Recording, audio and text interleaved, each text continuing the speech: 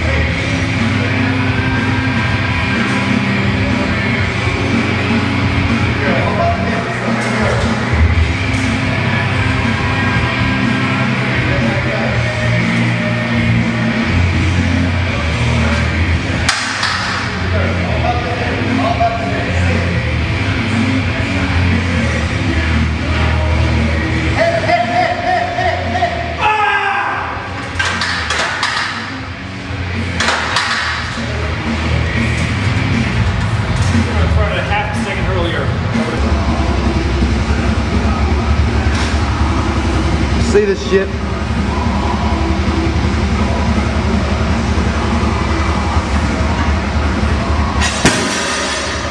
That's it for folks. Still warming up.